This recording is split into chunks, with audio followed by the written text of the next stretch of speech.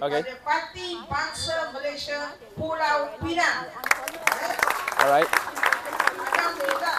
Terima kasih. I'll be frank. I'll try my best to be frank. way daripada Pulau Pinang, apa? are very new Lori kat kat ini. aware about the, the party, right? So what is PBM's strategy Lori going yang into dekat, okey. 2015? Bawa Well, talking about strategy coming into uh, GE15, I think the most uh, most important is that uh, you know we are relatively new, but one of the strategy that we are trying to do is actually to work together with the coalition. That's why I think it is very important, and we stress this very much. We have tried during the PRN Negeri Johor, we have tried and tested going alone, going solo, but I think we are facing quite an uphill battle during that election, during that state election.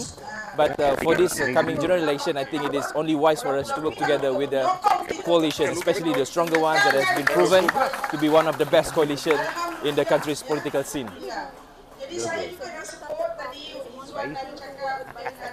Alright. Yeah, um, basically this is not obviously an easy decision to make. We deliberated on the issue for quite some times and we worked together with uh, internal and external consultants to actually try to look for the best solution for us. And then eventually we ended up with uh, deciding that we are going to go with uh, Barisan Nasional. So I think uh, so far everything is um, as per plan. Probably there's a tweak here and there to be able for you know to, to make sure that we will be able to cater with the current political situation. But I think before nomination day, everything that we plan for will become reality, inshallah.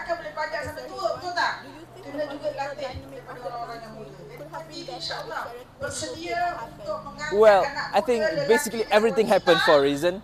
So we do believe that during the moment, at the moment of the time when uh, Sheraton moved, I don't call it a Sheraton move. It is uh, something that needs to be done to make sure that our country is actually moving into the right direction. Obviously, the decision then, the decision then was when we we are facing with some difficulties in going on with the service to the to the people and to the community. So there must be something or something must be done to deal with the current situation at that time. So there you go. You call it a Sheraton move. We call it saving the country. 15 tahun anak tu. Betul? So saya 2008 sekarang 15 tahun. Kalau kita ada anak 15 tahun kita dah tahu dah macam mana karakter anak kita betul. Anak kita ni lemah lembut ke?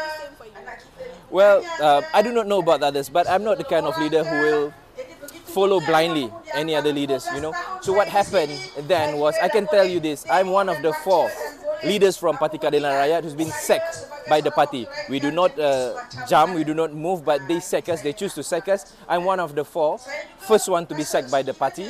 Uh, namely YB Azmin, YB Hilman, YB Zureda, and myself. So I'm standing here being proud of somebody who didn't leave my party, but I got sacked from the party.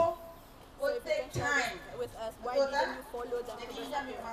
Well, it is basically a long story. We tried, but then obviously to cut things short, the problem of assimilation between ourselves, between my guys and then whoever it is that is already there in the structure of Bersatu, that is actually we, we try to do that, but it is actually very very hard for them to accept us into their fold. And then the problem is, I must say, assimilation. Then we have got to move somewhere because we believe that we can do better. We can do something for the Malaysian political scene. We can do something because we are already somewhere in our previous political party. But then to put us and to stay there, status, uh, just it's just staying static is just not who we are. We are very active. We are on the ground. We are on the move. So when you do not want to make full use of our ability, obviously we think that we must do something and. And along the time, we feel like uh, we are not being appreciated, we are not being fully utilized because we know that we can do more and people do not want us to do more there. We have got to make a move, then we make a move. Tak payah saya ni. Mana you all mesti jadi wakil saya. Dalam tugas. Well, obviously, I've been in politics for more than uh, for more than 20 years.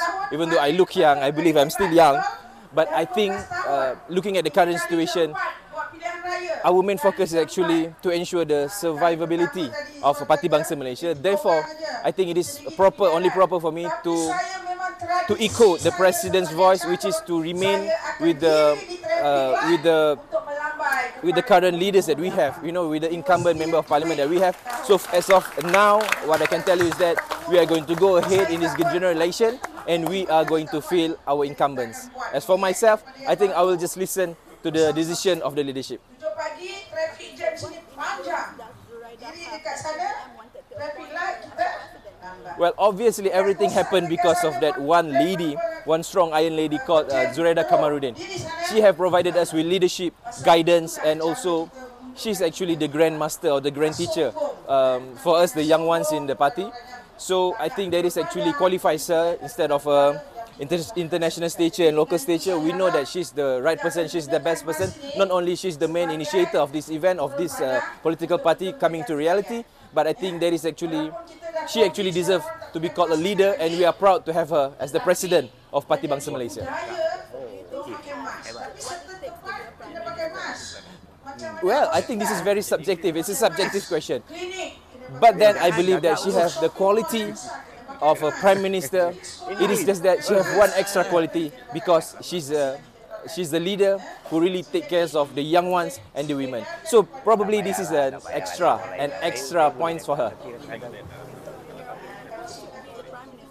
Well, whoever commands the majority of the parliament obviously should be the prime minister.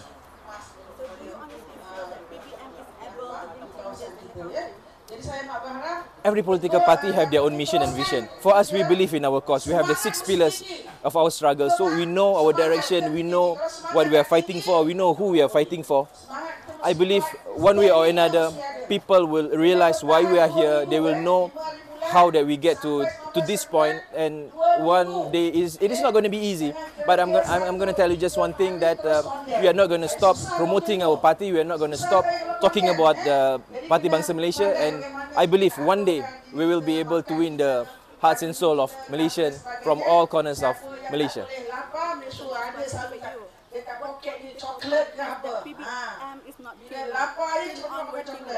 Well, it's pretty sensitive, but to me, uh, politics is politics. You can be friends today, you can be enemy the next day.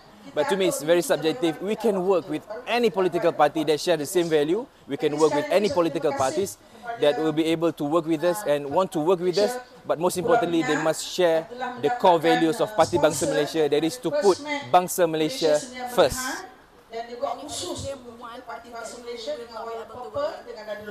Well, I would not want to be specific because election is near, so I don't want to insult anyone. But when the time comes, you obviously will know who we will be fighting in, especially in Ampang. Dia ni keluarga Lim dari Pulau Pinang. Right. Tapi bukan Lim Wang Eng. So what are like Bukan Lim you Ini want Lim lain. Lim baik. PBM? Lim baik. Well, I think Apa uh, benda yang uh, abang nak orang tahu pasal parti PBM? so dalam bahasa Melayu ni juga. Dalam bahasa lain boleh. Saya eh. Okey, um, uh, parti PBM ni baru ditubuhkan eh, dalam masa saya ingat uh, lebih, lebih kurang dekat setahun lah ya. Uh, pada peringkat awalnya uh, saya adalah uh, sebahagian daripada penaja kepada parti ini lah. Jadi maknanya salah satu parti alternatif yang kita boleh apa, uh, ketengahkan uh, menggantikan uh, Bollywood parti yang sedia ada yang yang tidak ber apa ni lah ya. Karnival wanita untuk wanita malam